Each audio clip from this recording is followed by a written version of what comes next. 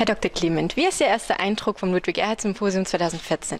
Ja, so wie ich es erwartet und erhofft habe. Es hat mir viel Spaß gemacht und Freude gemacht, ähm, hier an der Eröffnung teilzunehmen, zur Eröffnung sprechen zu dürfen, zu interessierten Teilnehmerinnen und Teilnehmern, tausend ungefähr, die da gewesen sind, Praktiker, Studierende, Lehrende, eine hervorragende, tolle Mischung. Die am meisten Spaß machen mir die Diskussion im Anschluss. Ich hätte noch stundenlang diskutieren können.